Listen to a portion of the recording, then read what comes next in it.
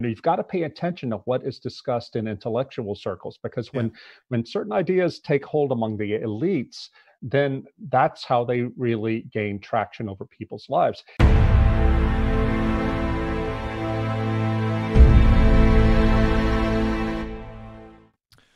Today we have Rod Dreher. First, Rod, did I pronounce your name right? Uh, it's close enough. Close enough. How, how, do you say it? it's Dreher is actually how it's pronounced in in German, okay. but uh, here in South Louisiana, uh, we say Dreher. Dreher. Okay. Uh, Rod is a senior editor at the American Conservative and the author of this new book, "Live Not by Lies: A Manual for Christian Dissidents." We're going to be talking about this book today. Um, it just came out, I believe, was it last month, Rod? September 29th. September 29th. Oh, so yep, a bit longer than that. Maybe just to start out, could you give us uh, just a overview of what the book is and what inspired you to write it? Sure. Well, five years ago, uh, I got a phone call from a doctor in Minnesota. Uh, he was uh, at the Mayo Clinic. He was the uh, a friend of mine was his patient, and the man was really agitated and, and anxious. He said, Look, I have to tell somebody this, and it's going to be you. He said that his elderly mother lives with him and his wife, and that she is an immigrant from Czechoslovakia. And she spent four years in prison in the 1950s in Czechoslovakia for practicing her Catholic faith. And uh, he told me that mother told him that, son, the things I'm seeing happen in America now remind me of what it was like when communism first came to my country. And uh, that just struck me as so weird and alarmist. But uh, uh so I made a point, though, I, when I would travel around the US uh, to conferences or to give speeches, if I would run into somebody who grew up either in the Soviet Union or in Soviet dominated Eastern Europe, I would put the same question to them. Are you seeing things in America today that remind you of communism? Every single one of them said yes. And if you talk to them long enough, they would be emphatic about how angry they were that Americans wouldn't take them seriously. Hmm. And the main thing they were talking about was uh, like cancel culture, the the fear of uh, that they're going to come for your job because you've said the wrong thing or believe the wrong thing, that that sort of thing. That's how it starts, but they say that's not how uh, you know it inevitably gets worse and worse. So uh, that's that was the genesis of the book. What I've done in this book is, first of all, I the first half of the book I try to explain what they're talking about. Why is the things happening here in our liberal capitalist democracy? Why does it remind them of totalitarianism? Is uh, is our definition of totalitarianism too rigid? Mm-hmm. Uh, and in fact, I, I, argue, and we can get into this in, in our talk today, uh, that it is too rigid. That what they're seeing is a soft totalitarianism, but a totalitarianism nonetheless.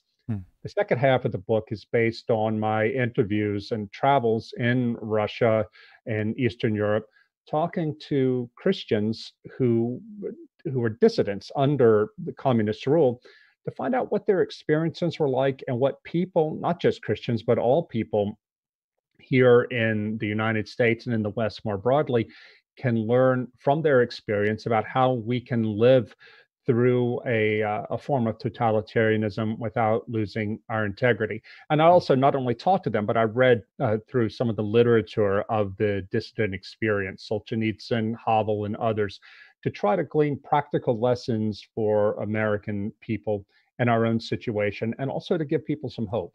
Hmm.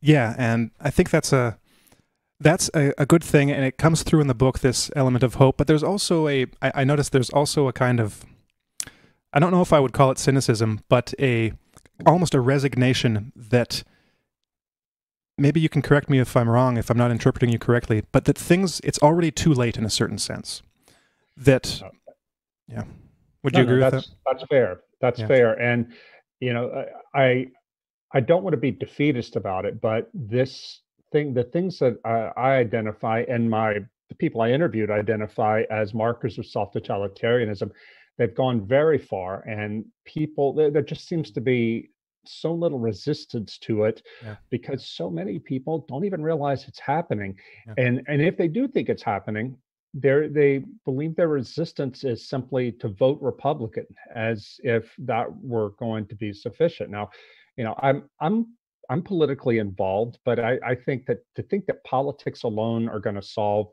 this problem and, and, meet this challenge is incredibly naive. But mm-hmm. you know, we're still not even talking about effective politics, eh, which, yeah. by the way, would be a politics I think that should unite people on the left and the right who believe in old-fashioned liberal values. Mm-hmm. But but we're not there. We're not even talking about this yet. Yeah.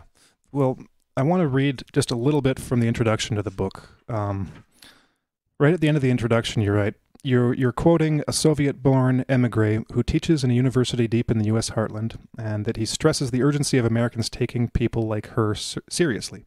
So she warns, You will not be able to predict what will be held against you tomorrow. You have no idea what completely normal thing you do today or say today will be used against you to destroy you. This is what people in the Soviet Union saw. We know how this works. Then you write, On the other hand, my Czech emigre friend advised me not to waste time writing this book.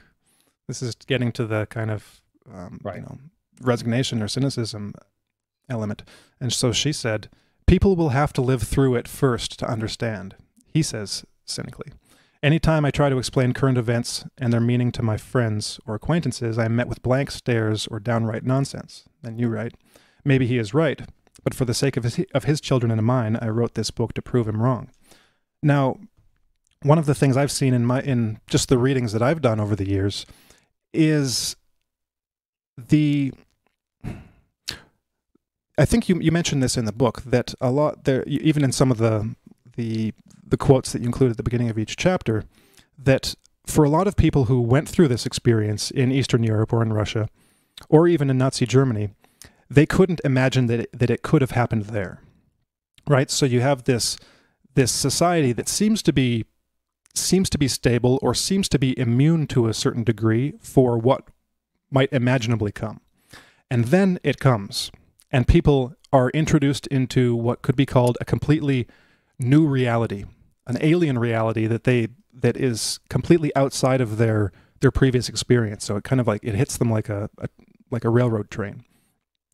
And then you have the people on the outside looking in who might have some idea that something that something over there is is going wrong. Like, of course, there were there were always uh, criticisms of the the Soviet Union and the com- and the communist world from the West, but even then, I think even from those critics, they didn't they didn't and couldn't really actually know what it was like to actually live mm-hmm. in that kind of system. So now you have the experience of all of these emigres and people who have lived through it, and then you quote their their thought that that people here just don't get it. You know, I try to explain it to them, and like the the one at the end there said, well, they're just going to have to have to live through it on your own. Could you just say anything about about that phenomenon and maybe why you think that it it might be possible to get through to people the the information they need to to take this warning? Well, I can tell you that the Czech emigre and I have stayed in touch. We email almost every day. And he, when Live Not by Lies hit the New York Times bestseller list, he wrote me and said, "You know what? Maybe I'm wrong.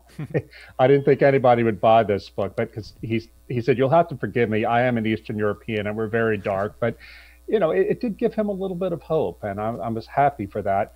But um, you know, it's it is human nature that we don't um, that that we don't and we sort of don't want to think about the worst that could happen because if, if people i mean we go back to the bible the, the prophets would come warn israel in the old testament the people of israel like you've got to change you've got to change bad things will happen they wouldn't change bad things happened and they learned their lesson i mean this is a constant of human nature but um, I, I Solzhenitsyn said uh, at the beginning of one of his uh, early editions of the Gulag Archipelago that people, one of the great mistakes people can make is thinking that what happened in Russia couldn't happen in their country. Mm-hmm. He said, given the right uh, set of circumstances, it could happen anywhere on earth. And uh, similarly, Czesław Miłosz, the great Polish intellectual who defected from Poland, and in his book, The Captive Mind, I quote him in, in Live Not by Lies here, he said that the people of Eastern Europe woke up one day rather unhappily to discover that the kind of ideas that were only talked about, say, in coffee shops and intellectual circles 20, 30 years earlier were suddenly ruling their lives. Mm-hmm. And this was Miłosz's way of saying that, you know, you've got to pay attention to what is discussed in intellectual circles, because yeah. when when certain ideas take hold among the elites, then that's how they really gain traction over people's lives.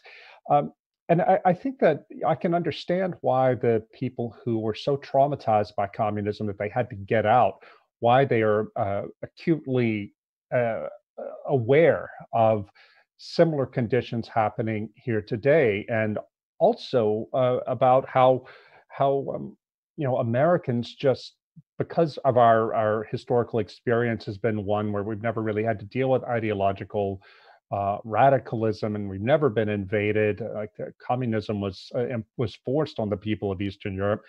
We just don't think it can happen here, and um, they they're trying to tell us no, actually it can. And if you're going to stop it, if you're uh, then you need to be aware of where these ideas and this way of thinking mm-hmm. goes. So just before we we came on to hear uh, me talking with y'all, I was reading uh, something in Quillette uh, magazine about a racial panic that's happened at Haverford College's campus in suburban Philadelphia. And uh, it is straight out of um, something that you could have read about Bolshevism. And I mean, it doesn't have anything to do with Marxism Leninism, but this idea that a, a radical group uh, that was very uh, a vanguard that was extremely insistent on its ideological uh, point of view. Even though the leaders gave them everything they demanded, it still wasn't enough, and they managed to intimidate any dissenters on the faculty and among the student body at this very liberal college into silence. I mean, it's eh, eh, and now nobody knows what's going to happen at this college. Hmm. It, again, a very liberal college that has been radicalized very quickly and totally disrupted by a powerful vanguard of of radicals among the student body that met no effective resistance from the the school's leadership you read this sort of thing and then you you look at what happened in russian history and you begin to understand why these emigres are so anxious. Mm-hmm. Well, th- that's a very interesting reference to that recent development because, as you say in your book, uh, Rod, even if the, the totalitarianism doesn't look uh, and and seem exactly the way it it was presented in Bolshevik Russia, uh, in Soviet Russia, there is still some version of it that is making itself manifest in today's West. And there, there are very crucial uh, similarities that we need to take a good look at because, uh, you know, as you were saying earlier, there there is a uh, a cultural memory uh, that we can learn from, that we can listen to, that uh, if if it doesn't describe everything exactly in the same way, does get at the very heart of the matter and so in your book, there is this kind of intersection, I would say, between uh, societal changes, political changes, but also uh, religious ones, where the the individuals that you interviewed um, had survived their experience of communism and persecution through a religious uh, Christian faith that kept them on the straight and narrow. And this is, a, I think, a very interesting and important feature of your book, which was that uh, this is a kind of spiritual battle that these people experienced and chose to face, uh, but could only have done so in many cases through their through their faith. And I wonder if you could speak a little bit on that and how that forms your own uh, views of things. Right. The um, one of the lessons I got from talking to people in these different countries is that really the only way to sur- to have survived totalitarianism and keeping your integrity is to believe in something higher, something greater than yourself. Now, it is the case in uh, Czechoslovakia in particular. Uh, Václav Havel uh, and his circle they were all atheists. Um, and uh, Václav Benda and his wife Kamila, they're also in my book. They were the only Christians in Havel's inner circle. But in most of the other countries, the dissidents were often believing Christians. And they they were able to withstand uh, all that the state threw at them because they believed that there was an ultimate reality beyond the material world. And faith in that ultimate reality is what got them through. This one uh, professor I spoke to in Warsaw, he had a really good uh, analogy or uh, uh, simile for the to describe this. He described human existence as like a kite.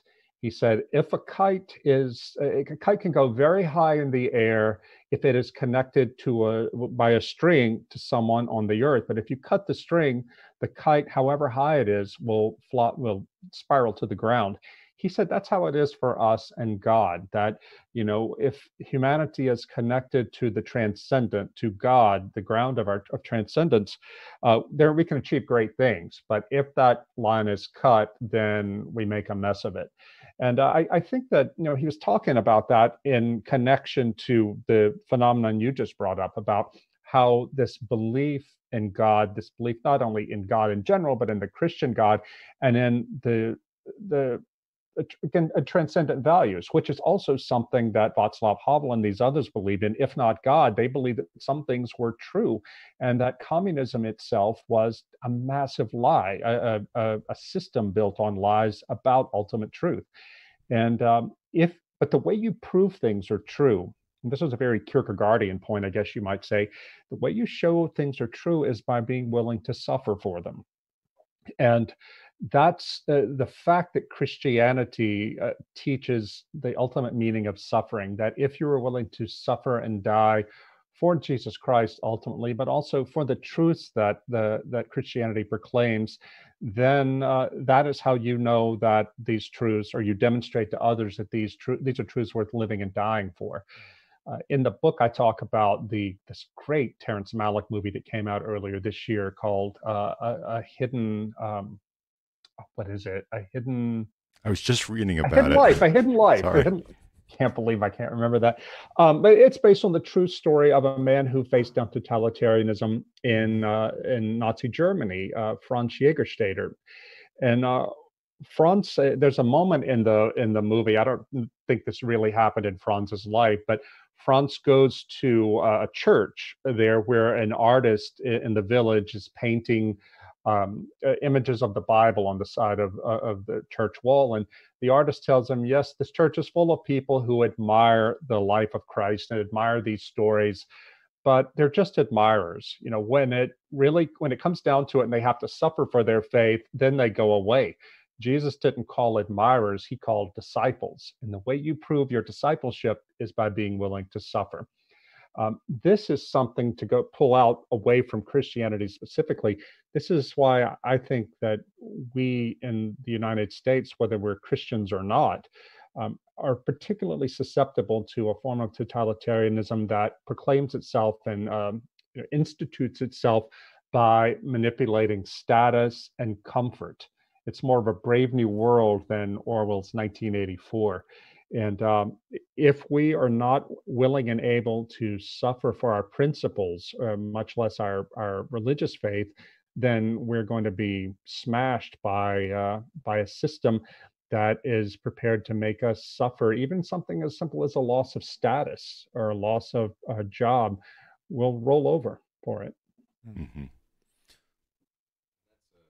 oh just wait. We gotta get hello maybe? Yeah. bad okay. connection. Bad connection. Sorry about that. Um, and i think you talked about this in your book as well was the the state of um, you know the american populace and uh, just the way that consumerism has influenced society to such a great extent like you say that uh, any kind of discomfort or anything that is uh, difficult or requires suffering is bad. Because it requires suffering, it's bad, essentially. Mm-hmm. Um, which is like a fundamental contradiction to like the actual reality and to Christianity itself. It's a it's a contradiction of of what Christianity preaches. Like in order to bring something about, you have to suffer for it. Like that's the only way that you're going to really value whatever it is that you has is if you actually sacrifice for it. If you don't make any sacrifices for it, then you you don't really care about it, and you don't really, you know, you did nothing to earn it. Mm-hmm. Um, and that was something that I really enjoyed about your book was the way that you were able to bring that out and um, just kind of, I guess, reveal the extent to which like there is the um, the social justice warrior aspect where they are uh, critical of uh, suffering, but only in a certain respect, only when it pertains to like specific minority groups. Like mm-hmm. their suffering is paramount, um, and everyone else is, is like not non-existent, but irrelevant. Irrelevant. Yeah, it doesn't yeah. matter because they're they're the power holders, uh, mm-hmm. even though those are completely contrived categories of people. And I think you also made that point in your book where you know the the the older white male who's living in poverty um, versus the you know Ivy League um, black lesbian professor. Like you know, one is clearly better off than the other, but still the white man is um, he's more privileged because he's white, and that's just that's totally right, irrelevant. Right. Um, so there's like that aspect of it, but then there's also the consumerism, and I really like the way that you you bring it out to say like it it's getting hit at both fronts, the value of suffering, right, and right. that is dangerous. Yeah, you know, uh, I, I one thing that really shocked me doing research for this book is reading about in the when the Bolsheviks came to power, the way Marxism, Leninism decided who was good and who was evil only on the basis of of social class.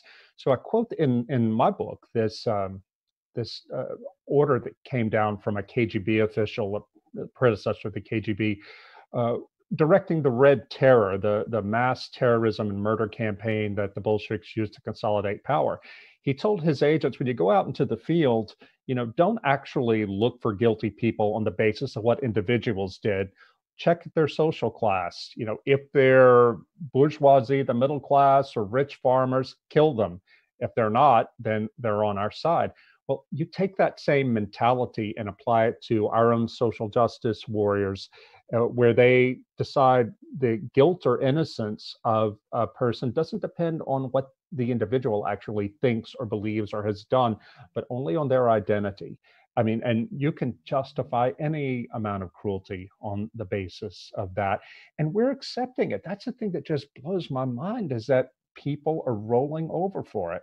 Uh, maybe because we haven't, nobody has told the stories of how this was used in the communist countries to suppress free thought and to um, and free exercise of religion and all all forms of freedom.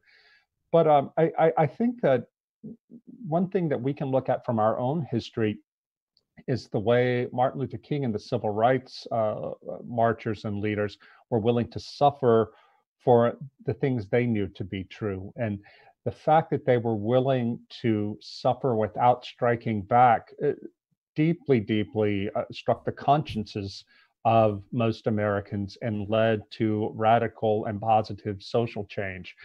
I do wonder, though, uh, to what extent that sort of protest would work in America today, uh, given that we are so post Christian. I mean, there was at least eh, the civil rights movement in the 60s, it was led by Black preachers, and they spoke in the cadences and the symbolic language of the Bible.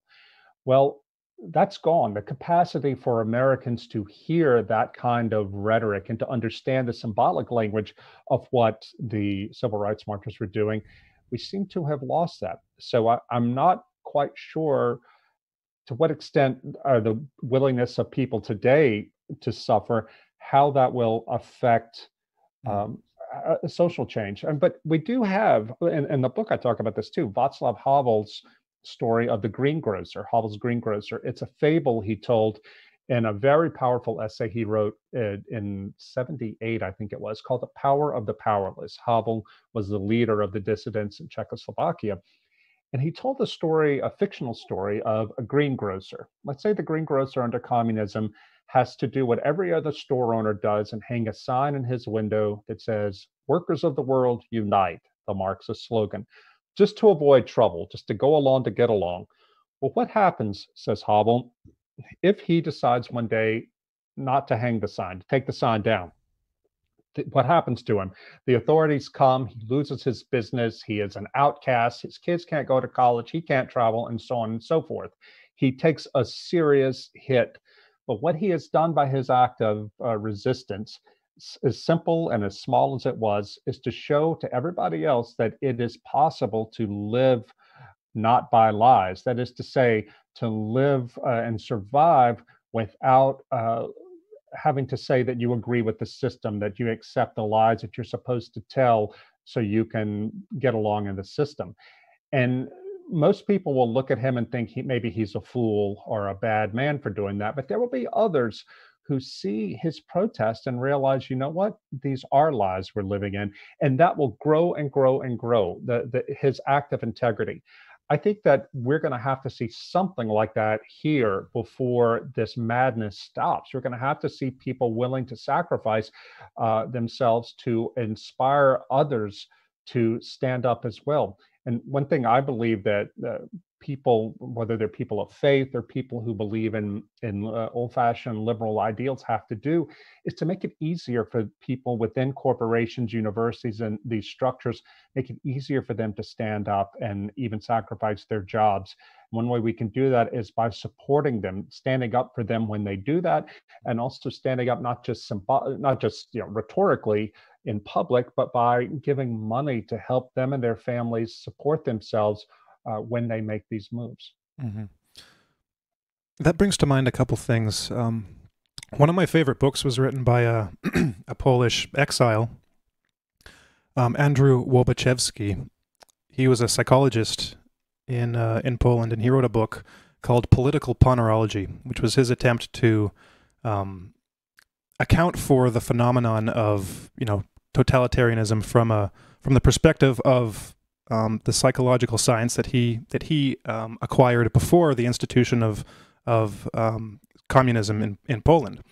And uh, one of the things that he writes about in in his chapter on religion and this system, which he calls pathocracy, um, basically being, meaning meaning rule of the of the sick or the ill or the diseased because um, he saw that he saw communism as uh, the essence of communism as experienced in the Eastern Bloc as um, the product of um, diseased minds.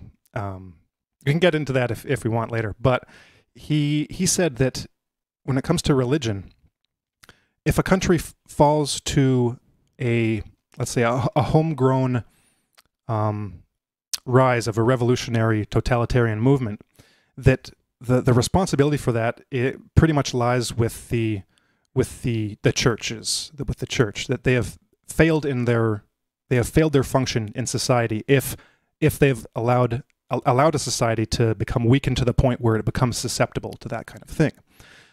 But he said once it is there um, religion the then becomes the kind of the sine qua non of not only resistance but survival, and that um, it, it's a it's a very dry work. Uh, with with stilted like uh, chunky writing, but mm-hmm. clunky writing. But uh, I'll paraphrase something he wrote. He said something like, um, "After after some years in in a system like this." religion becomes it leave uh, religion ceases to be just like tradition dogma and um, uh, one other negative aspect, you know, associated with just old old religion that's kind of dry and ossified and not doing its job, and it becomes faith. Mm. Because it's almost like the well, it is that the the suffering caused by living in this system, the atomization, the setting people against each other, creates the crucible of suffering that then necessitates well it, it not only necessitates a life of faith but it almost like forces it out. Like you know like striking a piezoelectric stone or something it's like by by being hammered something um, lightens just um, awakens within. And some of the accounts that you give in the book of some of these christian dissidents are just beautiful. Um, whether it's a short anecdote or a long story or a long conversation two that come to mind. One is the one um, i can't remember who it is but um, he was the guy that said that um, oh, now my mind's going blank. The he had a realization when he was arrested that um, basically it was the the greatest thing he can do in, in in life would be to die for for God, for his fa- you know, for his faith, for for the Dr. truth. Silvester Krčméry, that was who that was. He was in Bratislava. hmm And he, yeah, I think he was in the car with the with his arresting officers, and he just started laughing, and uh, and they weren't very pleased with that. Mhm. That also reminded me of a, of a story that Andrew Lo- Lobaczewski tells about his own arrests. He he reports that uh, he was arrested and tortured three times, I believe. On the fourth time he was arrested, he was then um, basically given his passport and sent to and told to leave the country. But on the first time that he was arrested, he he didn't have any of that uh, clarity. It was it Mhm. was um, he he- the whole experience was almost like a dream for him. He was arrested. Um, I believe I, I can't remember if he was tortured that first during that first arrest, but um, afterwards, you know, they let him go um, just just as arbitrarily as they had arrested him, and he was Mhm. just he was just left thinking like, you know, I think the the quote that he gives is he he said something like, you know, God, what like wh- where are you in this world? You know, what's going on? How can this happen? But on the second or third time that he was arrested and, and tortured, he got he he accessed this inner um, kind of strength and confidence, and he just looked at the you know out of his interrogators, he looked at the one that was uh, the the the head guy, like the meanest one, just with you know just looked him directly in the eye and said, paraphrasing, you know, I wonder why it is that people in your profession end up in the mental institute, you know, after so many years. And the, the the guy looked at him and said, you know, like, "Wh- what are you talking about? But it was that it was that confidence that he showed, and actually cracking a joke, even if it was at the other guy's expense, that the, the guards then actually treated him pretty well from then on, and, and let him go, like you know, some days later.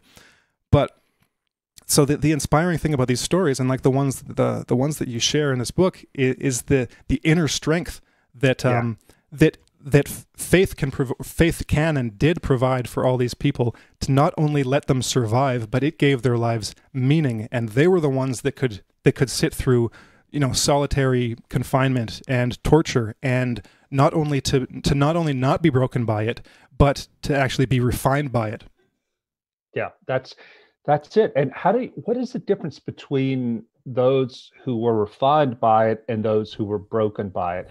I that would require a longer book, but I I, I did write in, in Live Not by Lies about this experience that Timo Križka had. Timo Križka is a Slovak photographer who was a child when communism ended, a little boy, so he has no real memory of communism. But he ended up doing a, a, a book, a, pho- a, a photographic uh, book of photographic essays and interviews with elderly Slovaks who had been put in prison for their faith uh, back in the 50s and 60s. And he went to visit them and to make take their portraits and talk to them. And it really changed his life, Timo said, because it all of these people, most of them are still quite poor.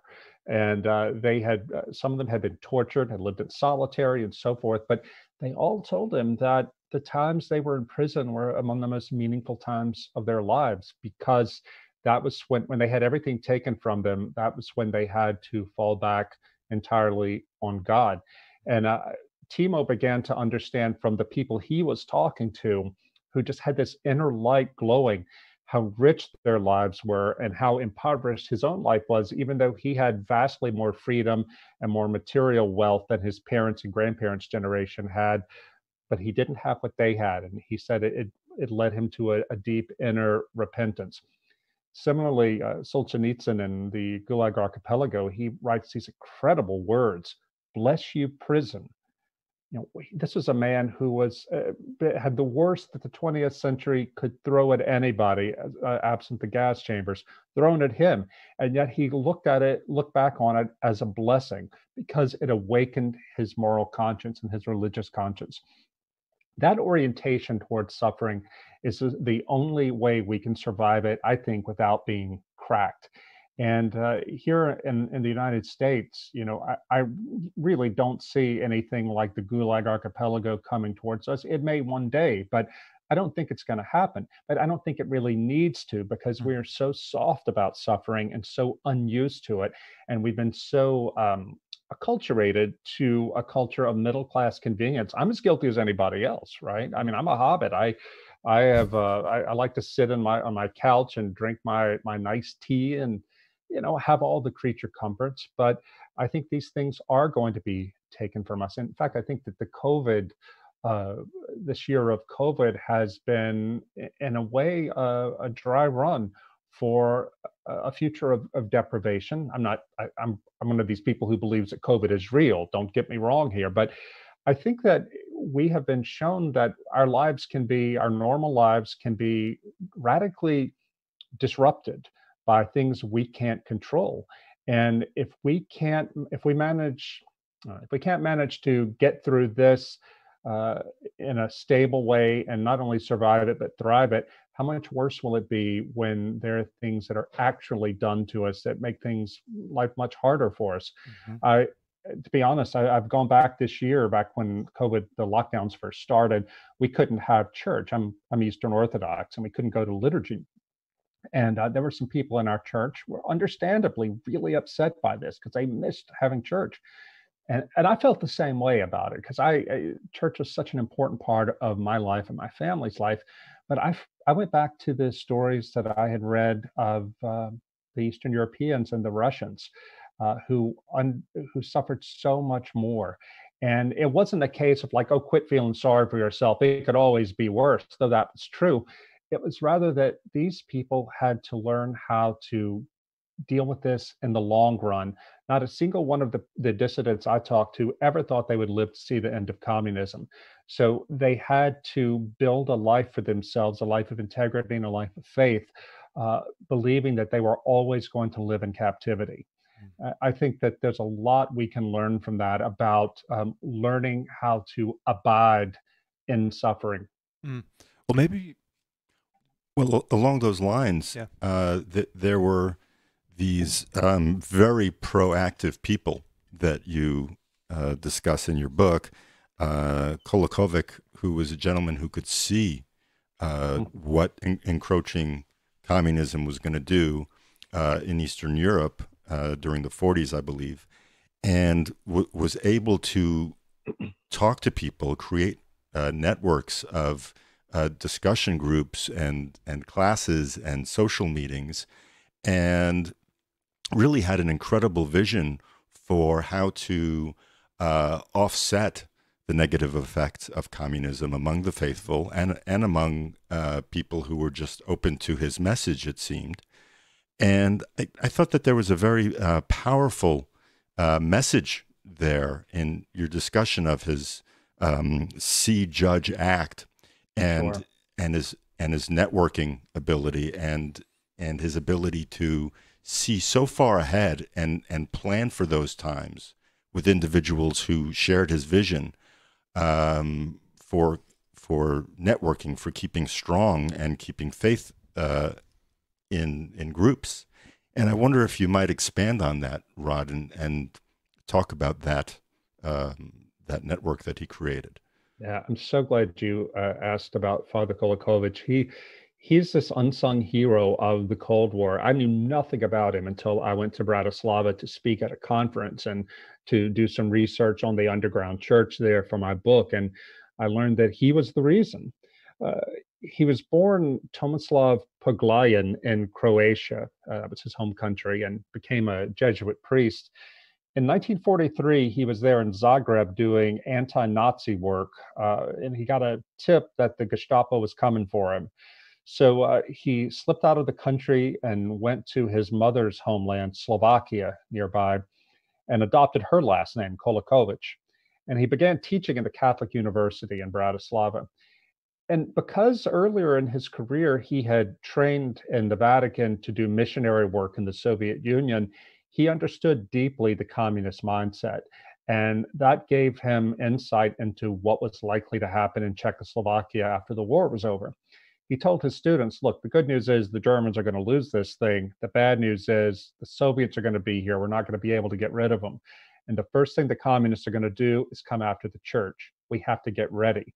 Well, the bishops, the Catholic bishops there didn't want to hear this. They accused him of being an alarmist, of upsetting people for no reason.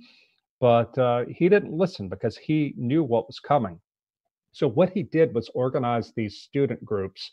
Uh, started out as prayer groups, but they were also discussion groups, and they were modeled after um, a program that he had learned about uh, that in the the young Catholic wor- uh, workers, I think they were called in Belgium, um, which was a, a, a, social movement to get working class Catholics together, youth together to talk about social problems and social reform.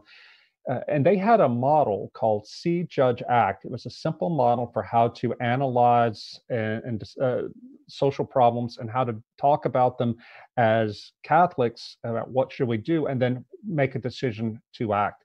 Well, Kolakovich brought that to his own groups. He called them the family uh, in Slovakia. He started one in Bratislava, and they spread quickly all around the country. And e- each town of any size had uh, a chapter of the family. And all they would do was this they would come together for prayer, but they were also come to hear lectures about um, economics, sociology, and so forth, and to apply the, their faith and their knowledge to analyzing what was happening in the real world there in Slovakia. And for them, that meant also preparing for the coming of totalitarianism and a time when the church would be suppressed. So they would learn practical things too, like how to resist an interrogation. Now, you could imagine to the bishops, this sounded crazy. But sure enough, when the Iron Curtain fell and they kicked Kolakovich out, the first thing the Soviet, the communists did, the Soviet puppet government did, come after the churches. Mm-hmm. And they neutralized the priest because they thought, and it was a reasonable theory, that you know this is uh, Catholicism is a hierarchical religion, and if we can just get the priest and neutralize them, then the the church will be suppressed. Kolakovich knew that's how they thought, and so all the lay people that he had helped prepare for leadership, they took the ball, and they and a few priests who had uh, allied themselves with Kolakovich, they built the underground church and they were the only meaningful resistance to communism for the next 40 years. I dedicate Live Not by Lies to Father Kolakovich because I think that we are in a Kolakovich moment here in the United States now. Uh, I don't know when the Iron Curtain or the whatever the equivalent would be will, is going to fall. It may be a slow noose sort of thing around the church and around people who dissent from the regime, even if they're non religious. But I think it's going to come. And I think that we have to right now start building these networks of groups who can see, judge, and act.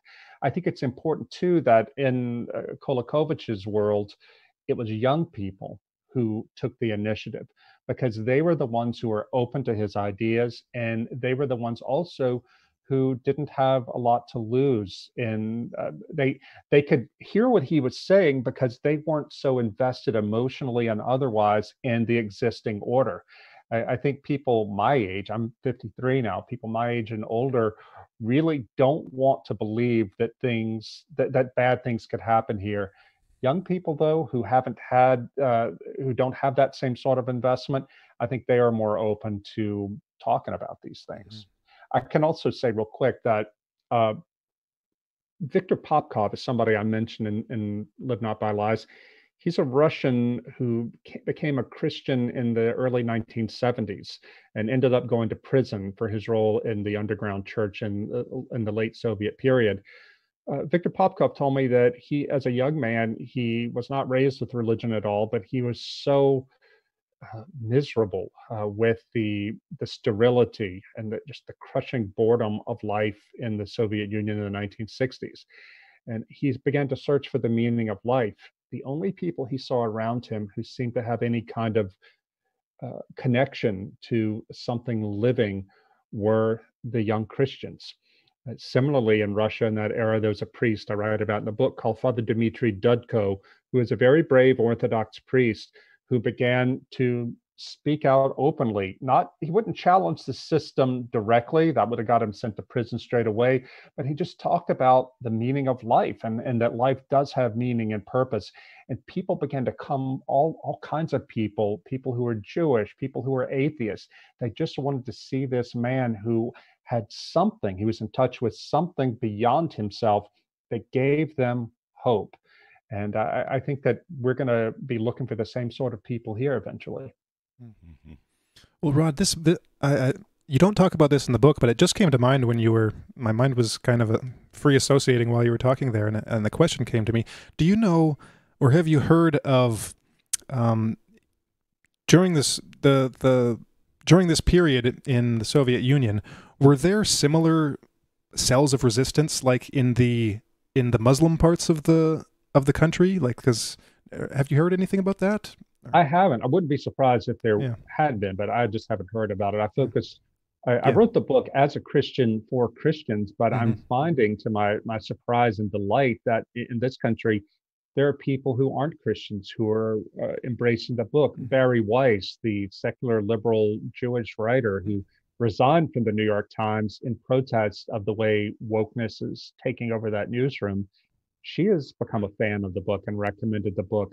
Um, Bret Weinstein and Heather Heying, who have a popular podcast, a Dark Horse podcast, they're both secular leftists, um, atheists, but they have embraced the book too because they themselves have had to live with soft totalitarianism that drove them out of their college, Evergreen State in Washington. So um, I've just been delighted to call these people my new friends and allies because this is the sort of thing that that we're going to need. I uh, in Live Not by Lies, I, I talk about how Kamila Bendova in Prague, as well as a man named uh, František Mikločko in Bratislava, talked about how you needed allies anywhere. There were Yeah. so few people in those countries who were willing to take a stand of any kind. Most everybody kept their heads down and just tried to stay out of trouble. But when you so when you found somebody who would do it, even if they whether they believed in God or not, you needed to be friends with them and to find out what you had in common, how you could help each other. I think we're in a similar situation here. And one of the in that second part of the book where you talk about all of these practices, these um, these these things that can and should be put into practice now in order to have them like like Kolakovich was able to do to to get them started so that they were established by the time they became absolutely necessary.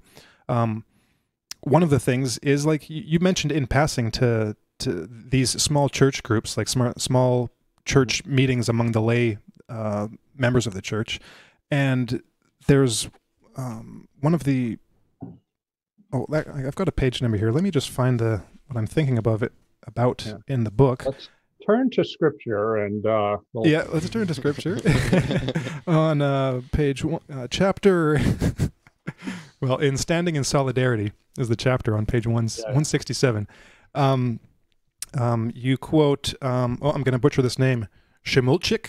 yeah, sure. That's perfect. That's Oh. it. Jan Šimulčík. Great.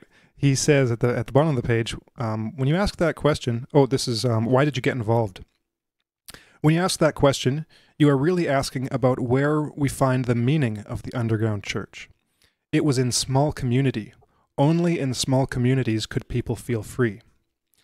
And so I'm relating that. Uh, well, maybe just talk about that. Um, talk about what he meant by that and how we can apply that um, to our lives you know now today here Yeah, because we're incarnational creatures. You know, the abstract ideals have to become real in the material world by living them out. Jan Šimulčík told me this this this story standing in uh, an underground chamber in Bratislava. Uh, it was incredible how we got there. We he took me to this ordinary house in suburban Bratislava that had been used by the underground church. The man who lived there back in the 1980s was a Catholic priest, secretly ordained, but he he was disguised as a worker. And in the basement of this house, actually under the basement, there was a tunnel, and he took me into this tunnel. That you had it was behind a hidden door. You went into this tunnel, and you came up in a secret room that was behind a basement wall. In this tiny chamber, there was an offset printer. It's still there. That the uh, some evangelicals in the Netherlands smuggled into Bratislava uh, to help the underground Catholic Church back in the 1980s. And for 10 years in that little room, they printed prayer books, gospels, catechisms, things like that to keep the underground church going. And they were never discovered. but it was an elaborate movement or elaborate scheme to do this. That uh, Šimulčík was part of a small group of college students, Catholic college students, who would come to the house every week to bind together the things that had been printed by Samizdat. And he didn't even know, none of them knew that this was happening in that secret chamber under the house because they that was how it, it had to be. If mm-hmm. any of them, if they had been arrested, they would have been tortured and sent to prison, but yep. the church had to protect itself.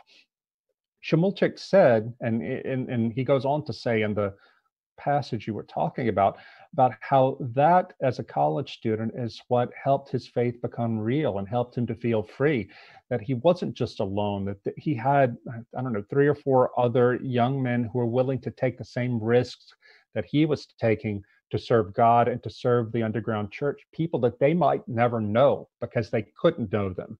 But they had a mission. They had a reason to risk their lives and their freedom and that gave them freedom. He says that this is the only place he felt free was when he was in these small groups with people who shared his faith and who shared his commitment to risking their lives for something higher. Um, I, I, think that you know, the the thing that totalitarianism depends on, certainly communist totalitarianism, and I guess any totalitarianism, is keeping people divided and atomized. In fact, Hannah Arendt said in her book, uh, The Origins of Totalitarianism, when she went back to try to analyze after the end of the Second World War why so many Germans had given themselves over to Nazi totalitarianism and why so many Russians had embraced um, Bolshevik totalitarianism, the number one reason was the loneliness, the mass loneliness of people, mm. and the sense of atomization, of not being connected to anybody else, to any institution, to any way of life. Uh, eh, totalitarian movements slipped in there and gave people what they were longing for that a deeper sense of meaning and solidarity. It was fake, but it was something what Šimulčík uh, was saying there about the small groups is that this was something real. You know, the, the state only wanted people to be have solidarity in ways that it could control, but it really kept them atomized and afraid of each other. Uh, but Šimulčík said you know, when he was there working with those others, he knew that they were real because they were all willing to suffer again. There we go, to suffer or to rather to risk suffering in prison for the sake of their cause and that was real freedom. I think that in our case, you know, we are clearly a society that is um, just completely eaten up with loneliness and atomization. Uh, and this has not happened because the state has forced it on us. It has happened because, you know, our economy and the way we've chosen to live and the way the technology we've embraced has brought this to us. I'm as much a victim of it as anybody else. You know, I'm sitting here in my house um, and before covid started you know i'm connected to a lot of people all over the world every day via the internet but i can't tell you who my neighbors are and that's mm-hmm. on me that's my fault nobody sports that on me and i know a lot of people who are like that but um, I, I, think that the hardship of soft totalitarianism when it comes it will force those who want freedom who, who want some reason to live higher than themselves to seek each other out and to build these bonds of, of real community. Mm-hmm. Uh, finally, Václav Benda, I don't talk about it in Live Not by Lies, but I do talk about it in my previous book, The Benedict Option. Uh, Václav Benda, who, uh, whose wife Kamila is in Live Not by Lies, under communism, he realized that the way, the best way he could resist it was to try to rebuild a sense of community that totalitarianism had destroyed. So he came up with this idea he called the parallel polis. He said, look, in Czechoslovakia, we can't have a real politics, a free politics, where people can choose to participate in the order uh, and have some sense of, of democratic accountability. But that doesn't mean that we have the right as Christians or as uh, as individuals to sit at home and submit to it he believed that that Christians and others should create a parallel uh, community of people that was based on on actual consent and participation, not to replace the communist um, the communist system because that wasn't possible, but rather to remind people who they were, to remind people what it means to be human and what it means to be a neighbor. Uh, so for Václav Benda, uh, a simple act of people getting together to share a meal was a political act because it was something that would help rebuild rebuild a real community. Well, Rod, your your book is uh, is actually it's it's really impressive impressively broad in some ways because you take some time to discuss the uh, the social credit system in in uh, China and in the U.S. and what big tech and surveillance technology and uh, all the modern conveniences that we've become so used to relying upon um, are doing to us. So, what you've done, I think, is to create this much larger picture of totalitarianism uh, in a few different forms and how it's been manifesting. And so, what's interesting to me is that you know you you have this uh, you know the radical left ideological uh, craziness uh, that's been on display for the past uh, six or so years, if not more, and then you also have the the kind of top down corporate corporatocracy and big tech surveillance and uh, and and that whole element, and uh, something that that's that may fall outside of your book a little bit is the uh, the the mass kind of vandalism against uh, institutions of Christianity, particularly in Europe, but also some in the U.S. Mm-hmm. and and also this move against calling Christmas Christmas. So I guess my point is that I, we're we're seeing this um, we're seeing something coming at us at at several different angles that are all quite pointed. Uh, I'm 49 years old. You said you're 53. Uh, mm-hmm. this is a very different world uh, I feel like I'm living in than when I grew up. And so, um, what what what if anything can we say is actually occurring? Is the whole world going uh, bonkers at, at around the same time? Is there is are, are all of these developments interlocked or interconnected in some fashion? Or I was wondering yeah. what you thought all this is. Yeah, it, I mean it's a huge question, and uh, if it makes you feel any better, even the people uh, who live through communism who can see that something big is coming, even they can't say exactly what it is. And they freely admitted that to me. This one Slovak priest said that uh, in some ways this is more difficult than communism. He said under communism, it was easy to tell what was good and what was evil, and the gospel shone a clear light through that darkness. But now uh, the the gospel, the light of the gospel only hits fog. And I think the part of the reason is because this new totalitarianism does mimic the best parts of Christianity and the best parts of liberal humanism. Um, Rene Girard, the the 20th century cultural critic, just a brilliant intellectual, he he wrote in the year 2000 i quote him in the book as saying that this concern for the victim which is something that christianity has always had and that the uh, the since the enlightenment period which was a secularization of christian uh, moral values you know our democratic societies have had at an increasing uh, level this concern for the victim and for the oppressed has become so intense that it threatens to become something totalitarian, the word that Rene Girard used, and uh, a form of constant inquisition.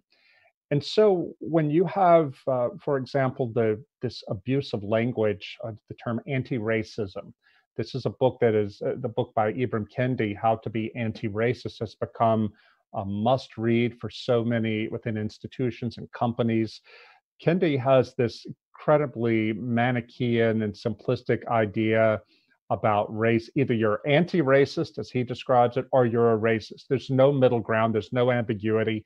Uh, you've had Black intellectuals like Thomas Chatterton Williams and John McWhorter call this out as clearly you know, uh, uh, simplistic and even totalitarian. But this is what's going on now. But the word anti racist is used in a highly ideological way, in a way that George Orwell talked about, to frame um, to frame the discussion. So, if you uh, stand up to anti-racism programs, then you, by definition, must be a racist. Mm-hmm. So, and this is a way of manipulation to make it impossible to think critically about what is being proposed because nobody wants to be a racist, right? Mm-hmm.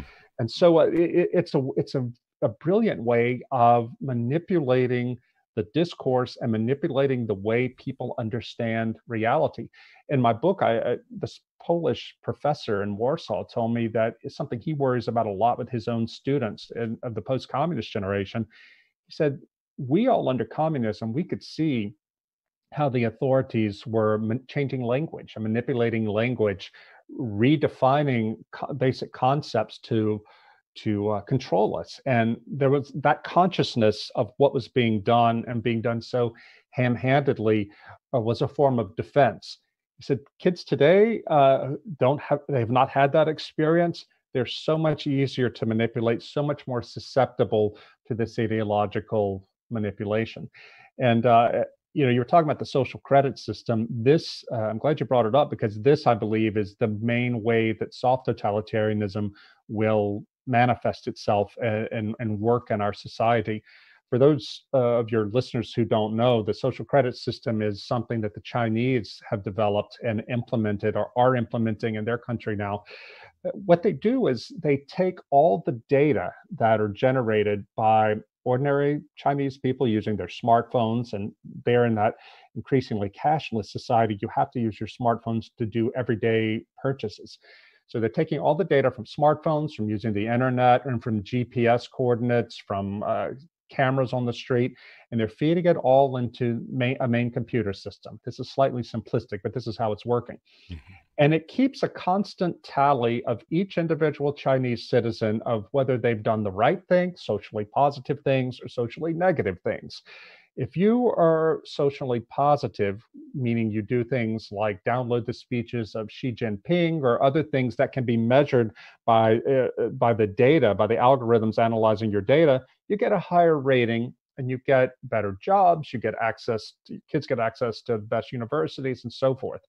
If you have a lower rating, which you get by doing things like going to church or or spending time or being at least friends on social media with other bad people, well, you get a lower rating and suddenly you find your privileges constricted.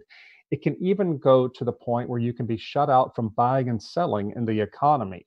Uh, because if all the, the purchasing has to be done digital, digitally in a cashless economy, then shutting you off from the economy is a matter simply of flipping a switch. Well, this is how the Chinese do it. And it's interesting. They they can manage to have a police state without having to send the police to people's door doors to yell at them. We can do this in America too. The same data are being harvested by, not by the state in our case, but by major corporations, Google, Amazon, and so forth. And it's simply a matter of deciding to weaponize that to marginalize uh, people who are dissenters, who are dissidents, who are deplorables, and so on and so forth, who don't fit the idea of what the people who run these companies think is socially positive.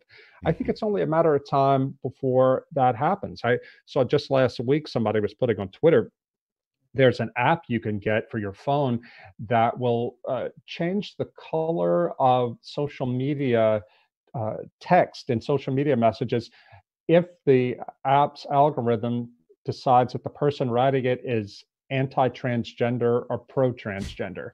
Now, I mean, it seems so silly. It's called Shinigami eyes. It seems so silly, but here you have someone if, if, they've made their mind up that they don't want to have any contact at all with any impure person who might have said something that is anti-transgender all they have to do is see the color of the text that somebody could be writing about nothing having to do with transgenderism the, just the color of the text will, will mark them out as deplorable, as enemies of the people, as bigoted, whatever you want to call it.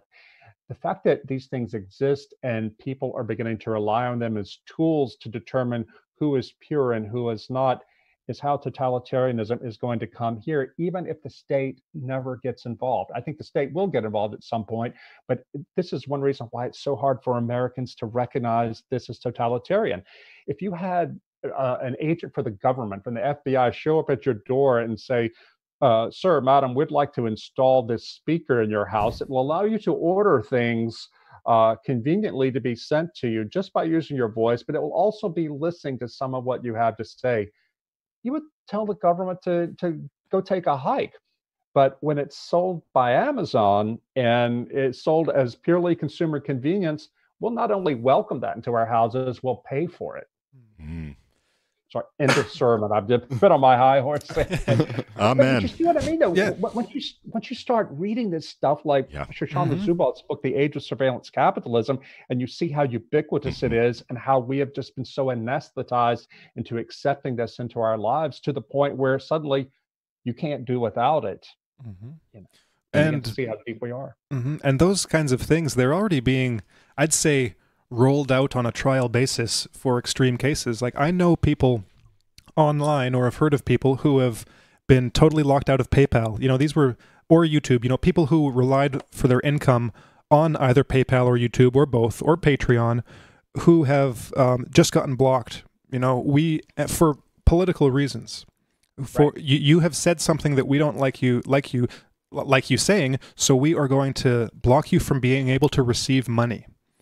And it's y- it's you soft see this totalitarianism Yep. without the state. You can still do it just by virtue of the big business. but the the the way they are able to get away with it right now is because um, most most uh, well I'd say for some of these people some of these individuals that I'm aware of most people would probably think oh it's a good thing that they don't that they're being cut off right um, it's a good thing that they're being banned that's not the kind of person that I want to have free speech and in, for some cases I can I can kind of agree with them I'd say oh well I can kind of see that why why you'd want that person totally cut off but at the same time, I'm totally against cutting them off because that opens so many doors.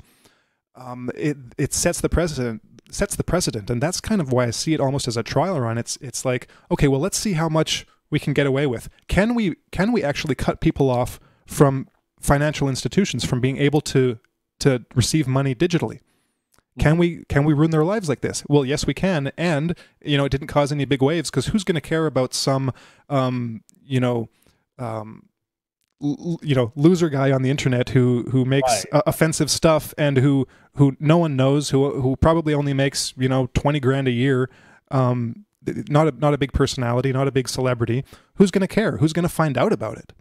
And that but that sets the the precedent and then you then you look at a country like China where this kind of thing is already um, institutionalized Mhm. and and you see those those two things and that is not a uh, that doesn't that doesn't give much hope for for this never happening you know? Right. And do you know in China, this is the thing that blows my mind. The social credit system is actually popular. Yeah. And uh, people want that. And why do they want that? Because the communism destroyed all traditions, all social life. Mhm. And pe- you can't live that way. You don't know who you can trust anymore. And people will say, Chinese living there today will say that at least this tells us you can look at Yeah. somebody's social credit rating, it's all public. You know who you can trust. And um, that seems crazy to us, but we don't know what it's like to live in a society where uh, civil society has been completely destroyed and people need some basis to know that they're not going to be cheated.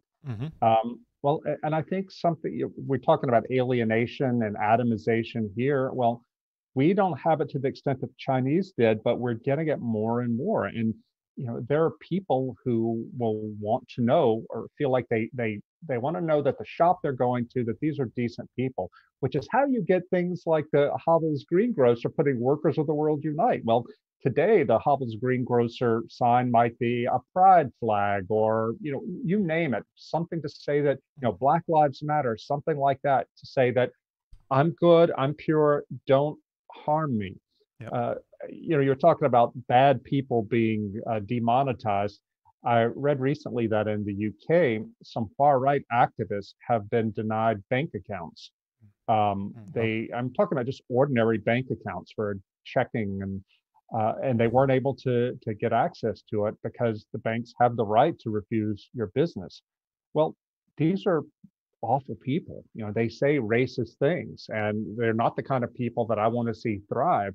But you're right. If these people are are not allowed to have bank accounts, that means they're not allowed to participate in the modern economy. Where do you draw the line? You know, today it's them. What about tomorrow if it's like people who go to church or people who vote Tory or you know, just you name it. It- it- Mhm. Once the principle is established, there's no stopping it. And it can also serve uh, to bolster that person. Um, I can't think of a specific example, but you know, let's say like an actual racist individual. um, was deplatformed uh, and was not it was disallowed a basic a bank account. They weren't allowed to get one. Well, it can radicalize a person. Yeah, it can radicalize the person by saying like, "Look, I'm justified in saying what I say because I'm not allowed to say it." That that proves that I'm right. That's mm-hmm.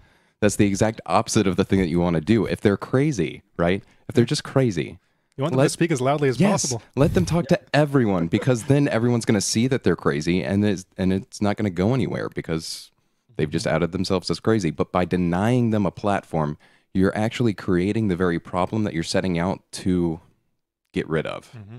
And you have no one to blame but yourself.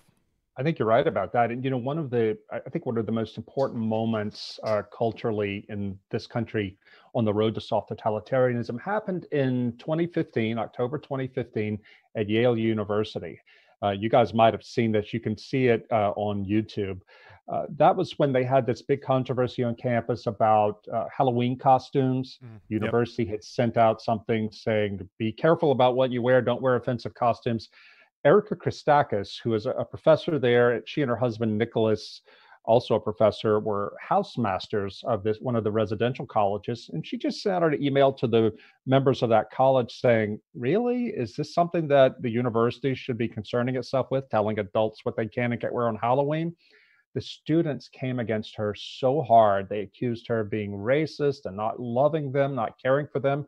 Uh, it all came down to this thing that you can see on YouTube where her husband Nicholas went out on the quad at their college and tried to engage this uh, large group of protesting students in a reasonable, rational dialogue about this. He was, he's a baby boomer, and he was doing just the model of rational discourse, listening to them, uh, offering feedback, and trying to engage them. They weren't having it. They just, this mob of young people just shrieked at him. Some of them sobbed. They were in a total moral hysteria. They cursed him of course, Yale University sided with the students against the Christakises. And uh, that showed me right there that the that when the people who run institutions who have the power to enforce norms when they yield to the mob you know we're done for. And uh, I, I think that the sort of people who who care about being called racist and who don't want to be racist or bigoted when they are run over and there's nothing they can do to redeem themselves in the eyes of these activists then what it does is it empowers the people who actually are racist and who don't care if you call them a racist they're proud to be racist. Those become the people who end up being seen by many others as brave because they stood up to the mob you know and i think that's a really bad situation for people like me and, and, and you who want to live in a decent, honorable, you know, old fashioned liberal society where people are free to dissent without losing their jobs and without having their lives threatened and their uh, and their their families put at risk. Mm-hmm. Well, Rod, how are we doing for time? Um, do you have? Yeah, have a, can we go about five or ten more minutes? Sure. Um, did did either of you guys have a final question? If not, well, just a comment, really, and that is that um, in your discussion, getting back to the area of, of suffering for truth, uh, that your explication of it is very nuanced, um, which I appreciated. Uh, the idea being that um, while, while some suffering may be involved and self sacrifice may be necessary, uh, that we shouldn't necessarily be you know, seeking to suffer and, mm-hmm. and making martyrs of ourselves, um, but that there is a, a, a certain openness and receptivity to those opportunities where you know there might be something to suffer for that that an individual may be uniquely uh, prepared to uh, engage in or or or find that okay this is actually my fight and mm-hmm. and I uh, th- this is where I demonstrate to, to, the best of my ability my my faith that that my uh, belief in something higher mm-hmm. um, mm-hmm. is or it can assist me at this time and and and this is the this is the proof of it. Uh, so I, I wonder if you might flesh that out a little bit, Rod. Hmm. Well, you know, you you say that it, reminds me of sitting with Father Kirill Kaleda uh, at his rectory in Russia at Butovo Field. Uh, Butovo Field is a place south of Moscow in the farthest southern outreaches of Moscow, where in the 1930s, in a 14 month period, the KGB executed 21,000 political prisoners on this field. Mm-hmm. And uh, today, uh, thanks largely to the work of this uh, tireless Orthodox priest, Father Kirill Kaleda, uh, the that space has been consecrated as Russia's national monument to victims of political violence.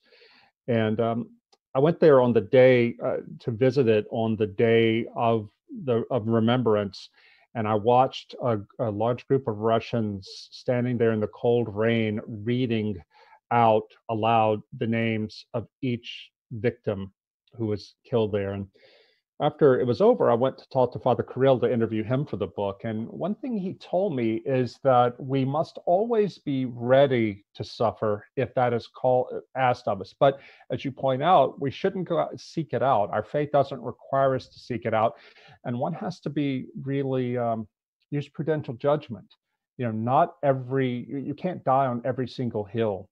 There may be times when you have to keep your mouth shut or uh, you know walk on by something that offends you because there's a there's a greater battle to be fought. The difficulty though is trying to trying to know when this is a stand i have to take and when I can pass it by. Because if you start by saying, well, I'm not going to stand up against this thing, I'm going to wait till the big thing comes along, you'll eventually talk yourself out of standing up at all. Mm-hmm. I, I, talk in, in Live Not by Lies about this thing called Ketman, Uh, uh, Miłosz, uh, Ch- Czesław Miłosz, the Polish dissident, he writes in his book, The Captive Mind, about a phenomenon he calls Ketman. It's a Persian word meaning the official hypocrisy, the, the, the mask that everybody has to wear in a system where it's too dangerous to tell the truth. Mm-hmm. Uh, and he says you get to a point, though, when if you wear the mask too often, the mask becomes your face. And this is the the real challenge. And I don't think there's a clear formula that tells us what we have to do in every single situation. It requires the um, mm-hmm. judgment, and it requires it's a sort of thing that we can only really uh, work out talking to people we respect, who share our values, and who don't want to see us suffer, but who also know that suffering can be required of us. Mm-hmm. Um, and I, you know, nowadays it's I, I, hear from people all the time who say that they try to talk to their pastors about the things they're struggling with, and their pastors in the workplace with whether or not they should stand up and be counted, or they you know, stand up uh, in this or that way, and the pastors don't even know what they're talking about because the pastors have been so accustomed to thinking of Christianity as kind of a self-help therapeutic uh, philosophy. Mm-hmm. And uh, I'm, I'm, sort of getting a far field from your question there, but uh, I, I, think that it really does become uh, an issue, and that people like me, I, I, my job is independent. You know, I work for a magazine.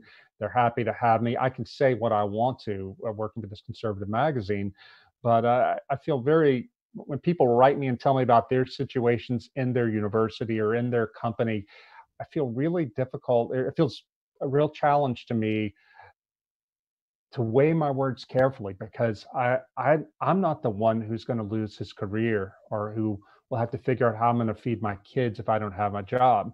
But at the same time, I want them to also be willing uh, to honor their willingness to sacri- to make this sacrifice if it's necessary.